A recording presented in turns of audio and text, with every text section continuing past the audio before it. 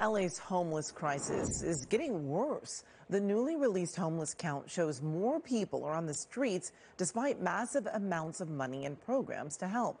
This year's count shows homelessness rose 9% in the county and jumped 10% in the city. There are more than 75,000 unhoused people in the county and more than 46,000 in the city. So why aren't we seeing any progress? Well, joining us now with a closer look at the problem is Dr. Va Lecia Adams Kellum, CEO of the Los Angeles Homeless Services Authority. Hello and welcome. Hello, thanks for having me. Absolutely. Dr. Kellum, you know, the rise in numbers had to be a bit of a blow. Were you expecting the rise? Well, I will tell you, it's very disappointing, but not surprising. We see that there's an increasing number of folks who are vulnerable economically and disadvantaged in a number of ways. And so, despite our tremendous efforts, we're finding people falling into homelessness faster than we can get them out.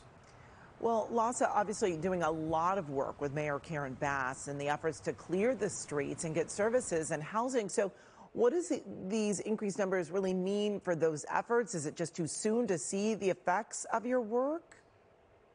Well, it's a good question. We are so happy to have a mayor who is dedicated to fighting homelessness and a board of supervisors who are in lockstep and locked arms literally in this regard. But it's absolutely the case that we do the point in time count in January, and that did actually happen before the bulk of these efforts launched. So there's still much to be hopeful for. We really have to stay focused on a concerted, strategic, coordinated effort to address street homelessness. And I believe that we can get there if we're all on the same page. But do you think that some of the people on our streets actually choose to be there and no matter what you do, it won't make a big enough difference?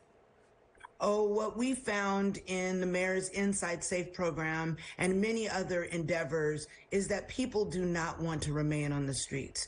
For the most part, when we're out there engaging people in encampments and we are offering housing with services, they say yes. So we just have to stay focused on reducing this humanitarian crisis, offer resources and housing that people want and I believe we can address this crisis.